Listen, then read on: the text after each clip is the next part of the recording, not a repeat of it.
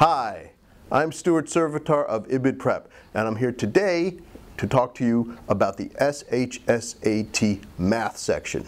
The math section is comprised of 50 multiple choice questions, into which are mixed all kinds of math questions.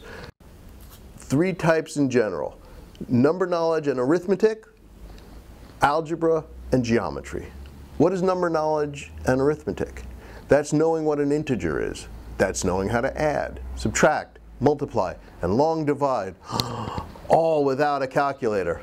They do give you scrap paper, and I suggest you use it. Don't be scared of long division. Don't be scared of fractions. You're not in fourth grade anymore. You can do it. And you better know fractions from here on out. Why? Because test makers know that everyone hates fractions. Plus, fractions are also good little machines for division. That's another story, we'll talk about it later. But get a grip on your basics. Then make sure you know your algebra, solving for x in every situation, including the dreaded word problems. How do we deal with word problems? And how do we deal with all problems in these tests which are expressed by words? By reading properly. If you saw the verbal section discussion of this test, you realize that we try to get our students to read everything word for word and for the point. And you're going to do the same on your math questions. You're going to break down each clause and each sentence, figure out what you have, write something down, and then move on. You're not going to do what every other kid does, which is read the whole math problem and, and then say, wait, what did I just read? That's a colossal waste of time. And kids are always worried about wasting time on these tests. So don't do that. Everything else, following through, executing your problems to the end, that's a good use of time.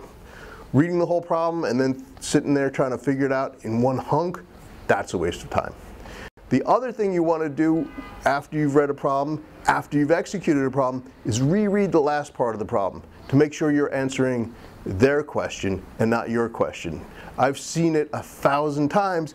Kids, hurry, hurry, hurry, finish, solve for x, see the value of x in the multiple choices, pick it, move on, and get it wrong why? Because the question was not asking what is the value of x. The question was asking what's the value of 2x, or what's the value of y, or what day is your birthday.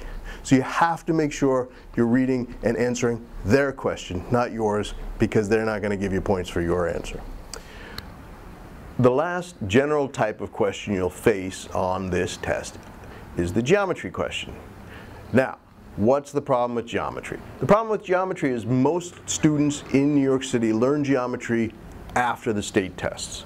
What does that mean? It means you don't learn geometry. Because after the state tests, you're burnt, your teachers are burnt, and your schedule looks like Swiss cheese, full of holes for half days, full days, principal days, field trips, scoring days, I don't know what. And I don't know why we're in school from May on, frankly, but that's another story. The point is, though, you're going to have to learn geometry. Not a lot. You're not going to have to learn geomet uh, trigonometry or uh, side angle side or proofs, any of that. You're just going to have to learn some basic formulas.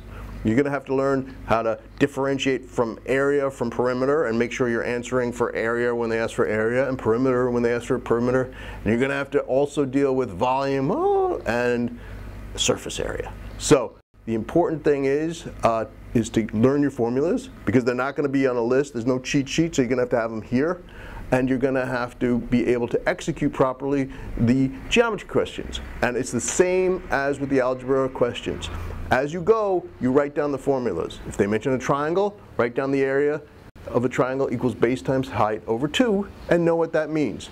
And then as you go, you can fill in the facts that they give you and then come up with an answer. And then reread the last part to make sure you're answering the right question. So that's basically the math. You have arithmetic and number knowledge, you have algebra, and you have geometry. Sprinkled in are fun little things like uh, uh, scientific notation, prime factoring, um, a little bit of funny functions. That's where they give you a made up symbol and tell you what that made up symbol means to do, and then you have to do it. That's pure panic material. So that's the math. Three types of questions sprinkled among 50 multiple choice problems. Read carefully, execute, use your scrap paper, finish your problems, reread to make sure you're answering their question, and you have a good shot at doing well on the math section. But remember, you don't have to be perfect to be very, very good. You just have to answer as many questions as you can. So make sure you're not obsessing on any question. If you don't remember the volume of a pyramid is one third base times height, then you're not going to be able to sit there and prove and de derive the volume of a pyramid. Move on to another question. The questions generally tend to get harder looking or harder in topic as they go toward the 50s, uh, up to 50, but they're not necessarily more difficult. So make sure you get a look at all the problems. If you don't know a formula, if you don't have the slightest idea how to tackle a problem, just pick a letter and move on. Remember, that's another thing. Fill in every question. Take a shot. There's no penalty for getting something wrong, so don't leave any blanks. I don't want to see any blanks. I do not want to see any blanks on your answer sheets. I want to see a lot of right answers, and I want you to do very, very well. Thank you.